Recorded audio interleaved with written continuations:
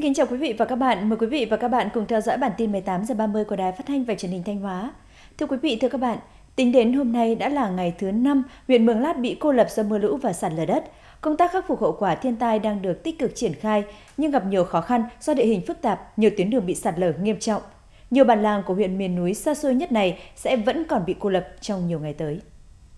Xã Tam Trung có 77 ngôi nhà bị lũ cuốn trôi, trong đó thiệt hại nặng nhất là bản Pọng có 65 nhà bị trôi, sập hoàn toàn. Đồn biên phòng Tam Trung đã huy động 100% cán bộ chiến sĩ xuống địa bàn, tổ chức sơ tán, đưa người dân đến nơi ở an toàn, đồng thời hỗ trợ lương thực và nước uống cho đồng bào. Những nạn nhân bị thương do nhà sập, cây cối đổ gãy đã được cấp cứu kịp thời và đưa lên bệnh viện đa khoa huyện điều trị.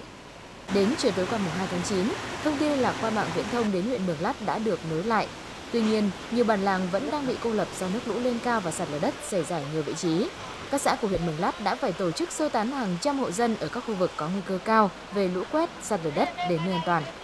Theo báo cáo nhanh từ Ban Chỉ huy Phòng chống thiên tai và tìm kiếm cứu nạn huyện Mường Lát, do mưa lũ và sạt lở đất, trên địa bàn huyện đã có 4 người chết, 3 người mất tích, 120 căn nhà bị sập hoàn toàn, 199 hộ dân phải di rời đến nơi ở an toàn. Nhiều diện tích hoa màu và vật nuôi bị lũ cuốn trôi, nhiều trường học, nhà văn hóa, cơ sở hạ tầng bị hư hỏng nặng. Do nước lũ lên cao trên sông Mã và lũ quét tại các khe suối, bắt đầu từ đêm ngày 31 tháng 8 tại sườn đồi thuộc địa bàn bản Co Me, xã Trung Sơn, huyện Quan Hóa, tỉnh Thanh Hóa, đã xuất hiện vết nứt rộng hơn 1 mét, chạy dài theo sườn đồi khiến các hộ dân đang sinh sống dưới chân đồi và khu vực liền kề lo ngại xảy ra sự cố sạt lở đất. Trước tình hình trên, xã Trung Sơn đã phối hợp với công ty trách nhiệm hữu hạn một thành viên thủy điện Trung Sơn sơ tán khẩn cấp 154 hộ dân, bố trí cho các hộ ở các lán bạt trên các đồi luồng, trường học và tại khu tập thể dành cho cán bộ công nhân công ty trách nhiệm hạn một thành viên thủy điện Trung Sơn. Mặc dù đã được di chuyển đến nơi an toàn, nhưng cuộc sống của các hộ dân đang gặp rất nhiều khó khăn. Thức ăn thì à, nói chung là có nhà thì còn vì à, cái lúc đầu thì còn tích trữ được một à, tí gạo còn có nhà thì không còn cái gì vì gạo không không không mạnh à điện mất mà thóc thì còn nhưng mà không có điện mà sát gạo ăn. Chúng tôi cũng đã tập trung đã các lực lượng rồi vận động bà con đi đến chủ 47 và các nơi để di tán đảm bảo an toàn cho bà con. Lãnh đạo xã Trung Sơn cho biết hiện tình trạng lún sụt và sạt lở đất vẫn đang tiếp diễn nên các hộ dân bản Co Me không thể trở về nhà. Nếu tiếp tục có mưa to và lũ lớn trong những ngày tới, quả đồi sẽ có nguy cơ sạt lở, xóa sổ toàn bộ địa bàn dân cư bản Come.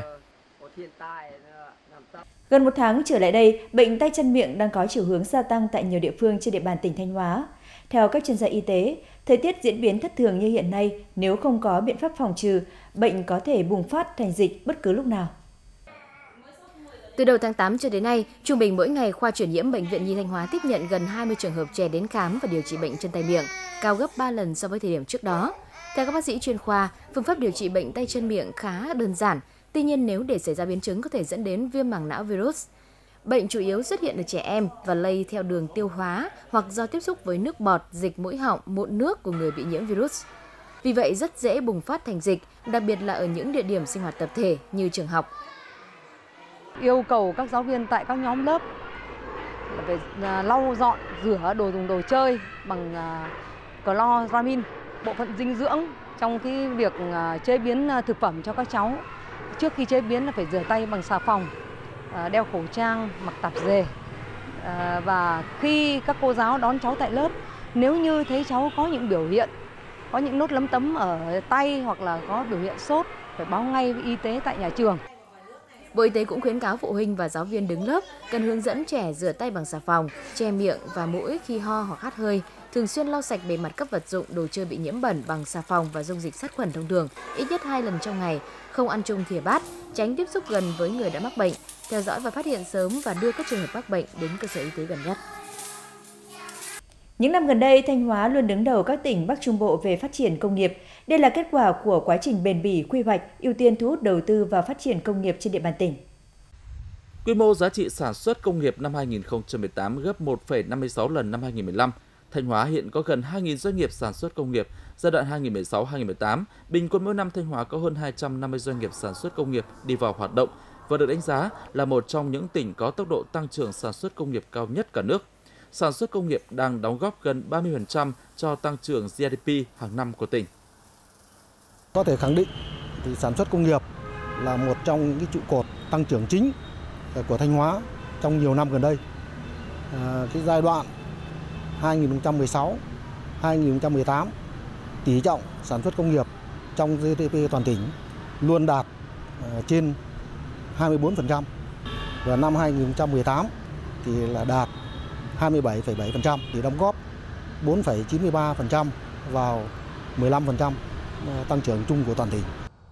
Quy hoạch tổng thể phát triển kinh tế xã hội đến năm 2035, tầm nhìn đến năm 2040 của tỉnh Thanh Hóa xác định công nghiệp chế biến chế tạo là một trong năm trụ cột phát triển, thu hút đầu tư, hình thành trung tâm chế biến, chế tạo lớn, mà trọng tâm là các ngành lọc dầu và sau lọc dầu, công nghiệp may mặc, da dày, chế biến nông lâm sản và thực phẩm gắn liền với 8 khu công nghiệp trọng điểm của tỉnh. Bản tin 18 giờ 30 xin được tiếp tục với những thông tin trong nước vừa được chúng tôi cập nhật.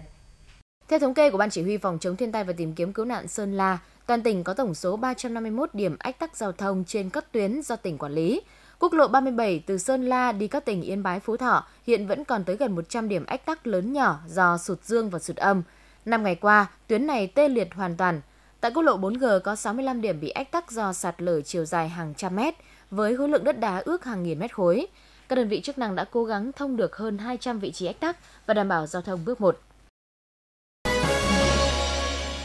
Do việc xả lũ, nước sông Lam lên cao làm sói đất đường dẫn lên cầu treo Trôm Lôm thuộc địa bàn xã Lạng Khê, huyện Con Cuông, tỉnh Nghệ An. Hiện chính quyền đang huy động các phương tiện máy móc khẩn trương gia cố đoạn bị sạt lở để bảo vệ cầu. Sự cố đất mố cầu Trôm Lôm cũng khiến ba bản Đồng Tiến, Trôm Lôm, Yên Hòa của xã Lạng Khê với hơn 500 hộ dân tạm thời bị cô lập. Bệnh viện Đa khoa tỉnh Khánh Hòa trong hai ngày nghỉ lễ dịp Quốc khánh mùng 2 tháng 9 đã tiếp nhận hơn 500 ca cấp cứu, tăng khoảng 10% so với những ngày thường.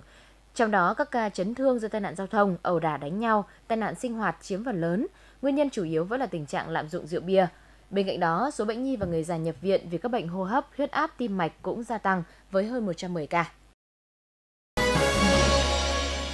Theo thống kê của Cục Nhà giáo và Cán bộ Quản lý Bộ Giáo dục Đào tạo, năm học 2018-2019 toàn quốc thiếu trên 75.000 giáo viên, trong đó cấp học mầm non thiếu 43.000 giáo viên, tiểu học là trên 18.000, trung học cơ sở là trên 10.000 và trung học phổ thông là trên 3.000. Nguyên nhân được chỉ ra là do tuyển dụng, sử dụng không hợp lý từ các địa phương. Để khắc phục tồn tại này, Bộ Giáo dục Đào tạo đang tiến hành giả soát ở các cấp học, đồng thời phối hợp với Bộ Nội vụ tham mưu với chính phủ để có giải pháp bổ sung số lượng giáo viên trước thềm năm học mới. Vùng biển ven bờ Đà Nẵng trước đây thường xuất hiện các tàu ngoại tỉnh hoạt động sai tuyến, khai thác theo kiểu tận diệt bằng nhiều hình thức. Tuy nhiên, tình trạng này đến nay đã được ngăn chặn bởi sự vào cuộc tích cực từ các lực lượng chức năng trong việc tuyên truyền, thay đổi nhận thức trong khai thác ven bờ của ngư dân. Cùng với đó, lực lượng chức năng thường xuyên tổ chức tuần tra kiểm soát để kịp thời phát hiện và xử lý những hành vi khai thác theo kiểu tận diệt như sử dụng thuốc nổ, sung điện hay ngư lưới cụ bị cấm sử dụng.